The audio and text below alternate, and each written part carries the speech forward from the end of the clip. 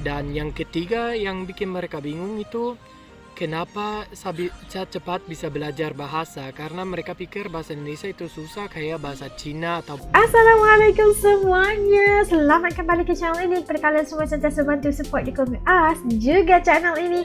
Jutaan terima kasih ucapkan. Kepada kalian yang baru Yang masih belum gabung Ayolah bantu gabung Dengan subscribe channel ini Karena subscribe itu kan gratis aja geng. Okeylah seperti biasanya Sebelum As mulai As mendoakan Buat sesiapa saja yang menonton video As kali ini Agar dikurniakan limpah rezeki yang luar biasa Yang tak akan pernah putus-putusnya. Dipermudahkan segala urusan Diberikan kekuatan dan kesabaran dalam menghadapi apa juga ujian Dan diberikan kesabaran, kekuatan pada saudara-saudara kita di Palestina. Juga diberikan kemenangan kepada mereka insyaAllah. Amin, amin ya rabbal alamin. Okeylah, hari ini Azna react satu lagi video dari channel Keluarga Papua Jerman. Aduh, jangan lupa juga untuk bantu subscribe channel ini. Tanda dukungan kita. Kali ini kita akan melihat Kenapa boleh Jerman pilih untuk belajar bahasa Indonesia? Kenapa ya? Kenapa nggak bahasa lain? Kenapa bahasa Indonesia? Ayo kita cari tahu. Yuk, ikut react. Yuk. Oke, udah siap semuanya. Yuk, kita mulai. Bismillah.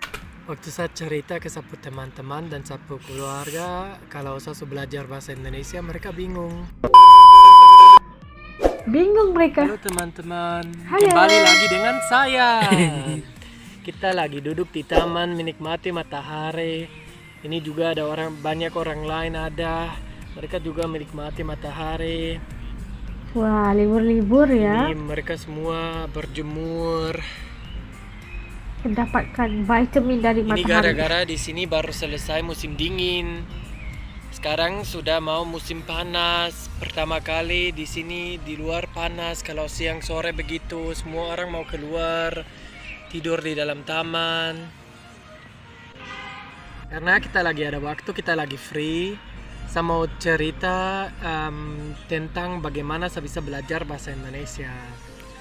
Pertama kali itu di universitas di semester pertama di satu jurusan kita harus pilih salah satu bahasa yang Oh, di luar universitas. Eropa. Dan saya lihat ada bahasa apa, ada macam-macam. Ada bahasa Arab, ada bahasa Cina.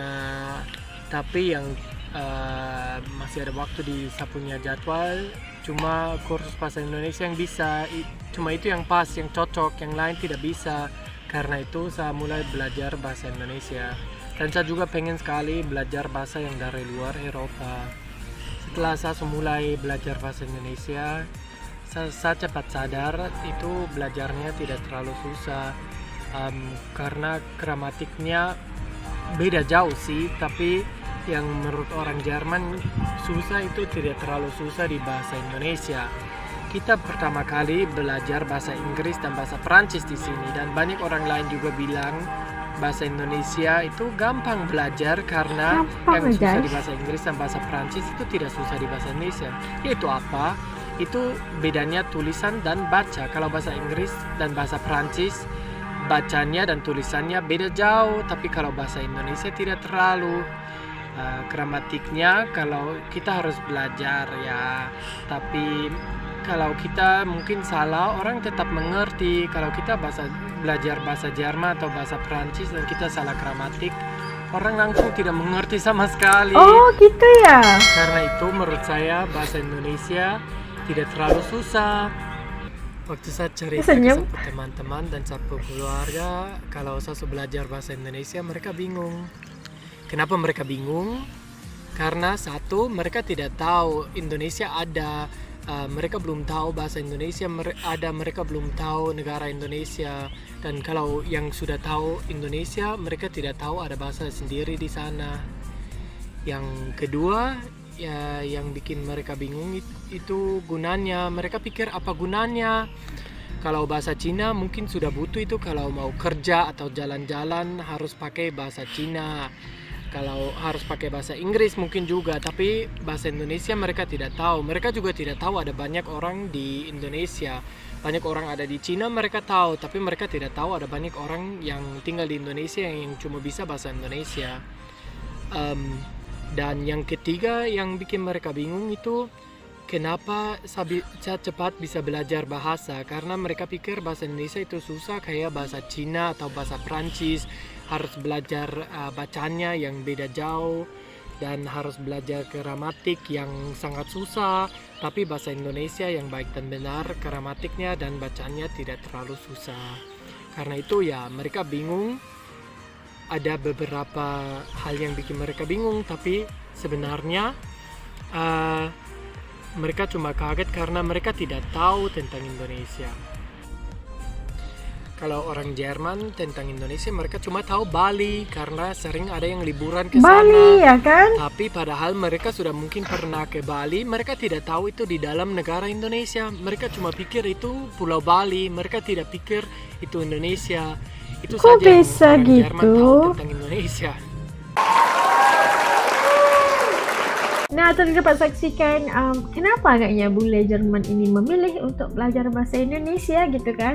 Dan ternyata karena bermulanya dia untuk uh, zaman kuliahnya perlu belajar bahasa di luar bahasa-bahasa Eropah dan ternyata bahasa Indonesia aja yang uh, di waktu itu yang masih uh, sesuai dengan jadwalnya dan justru itu dia bermula dengan bahasa Indonesia dan ternyata bermula dari titik permulaan itulah dia udah mula uh, jatuh cinta dengan bahasa Indonesia. Karena apa? Karena bahasa Indonesia katanya itu gampang dan mudah untuk dipelajari. Tak sesusah ataupun tidak sesukar bahasa-bahasa negara-negara lain kayak bahasa Cina, bahasa bahasa Prancis dan sebagainya. Dan Karena bahasa Indonesia itu uh, straightforward, itu mudah cara bacanya, cara cara tulisannya itu kayak sama aja kan, nggak nggak terlalu sukar.